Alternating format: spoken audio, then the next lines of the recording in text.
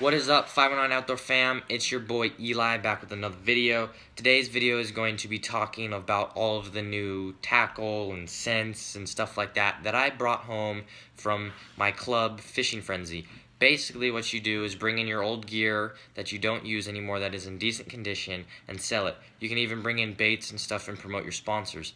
There was also some seminar going on for Navionics, um, spring bass fishing, spring walleye fishing, and just bass fishing in general and how to look at it from the tournament standpoint. So that was a lot of fun. Before we really get into this video, I just want to give a quick thank you to everyone that is part of the Spokane Bass Club. Tyler Brinks, the president, Noah Witten, the treasurer.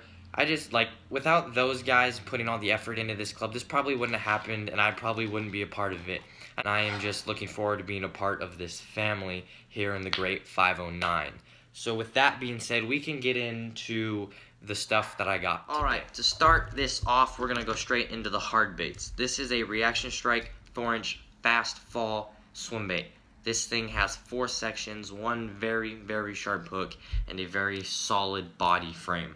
I cannot wait to fish this for some post-spawn and pre-spawn largemouth. The other really cool company that I am going to try out now is Livingston Lures. I picked up three of these today. This is a spring craw color. This is a purple sea shad color. And this is a Tennessee shad color. All of them in the 10 foot depth diving series have red hooks in the front, black ones in the back. The other one I picked up, which is a going to be a fantastic bait, and I plan on fishing this thing non-stop later this year, is the Dive Master 14. One of the lakes that I fish all the time, which is probably my all-time favorite lake. It produces quality, and baby bass is always been the go-to color on that lake. For some reason, they just key in on the smaller. These next ones are hooks and weights, and they make something very awesome. These right here are 5 16 ounce shaky heads from Thrash Baits. I will leave his Facebook and his Instagram down below. The other ones were swing heads from him in a half ounce.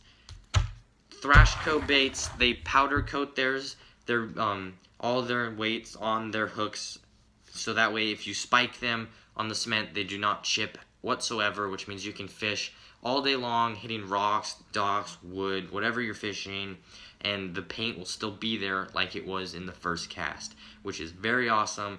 He only uses Gamakatsus, which means they're a little bit more expensive. However, they work and the hooks don't. Some other things I picked up are Freedom live action hybrid jigs. These are a football head. They're called the Zodiacs. These ones are called the Stealths. These are like a swim bait kind of jig head, and they all. This one has three aught hooks, and this one has five aught hooks. These things are going to be awesome, and I'm glad I picked them up. Alrighty, so Strike King is a big ball player in my fishing game. I've always used Strike King I've always liked Strike King. I have nothing against them. And today, while I was there, I saw this perch poppin' frog sitting in a bin. And I told the guy running that booth if it was still there in an hour, I'd be picking it up. Two and a half hours later, it was still there, so I picked this bad boy up for $4. Can't beat that. I also picked up some Space Monkeys from the Rage Tail series. These things are great. Put on trailers on the back of jigs, Texas rig them, flip them, pitch them, whatever you want to do. These things are great. Can't forget the Mimic Minnows. I picked up some Berkley Havoc baits today, like this Boss Dog and Green Pumpkin Black flavor. Color, not the flavor. I don't know why I said, but look at that. The other one I picked up is a Money Maker. These things are goofy looking. However they work, so that's not, whatever it looks like, don't care if it works. These other ones are called the Beat Shads. They are like a swim bait, but not. It's kind of weird. They are a rib worm with a paddle tail. They are very soft and they have a lot of action on a slow retrieve. Also picked up some sick fish today in like a pearl color. I love fishing soft body swim baits, so that's the reason I picked these bad boys up. Have you guys ever heard of Damiki baits?